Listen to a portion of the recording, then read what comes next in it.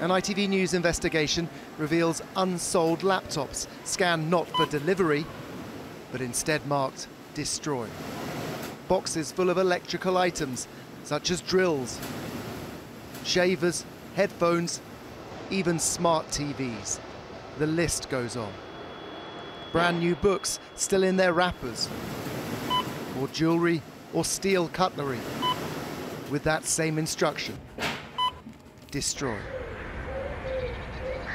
One former employee who wishes to remain anonymous reveals the scale of what they're asked to do. So, from a Friday to a Friday, our target was approximately 130,000 items a week. The target to destroy from one centre was 130,000 items. Yes.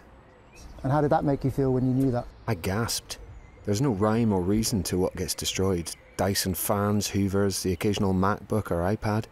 Or the other day, 20 bins filled with thousands of COVID masks still in their plastic wrappers. Overall, I'd say 50% of all items seem to be unopened and still in their shrink wrap. The other half are returns but in good condition.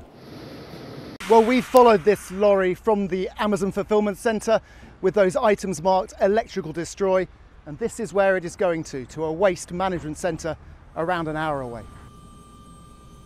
Behind the tarpaulin, the huge amount of unwanted goods are revealed.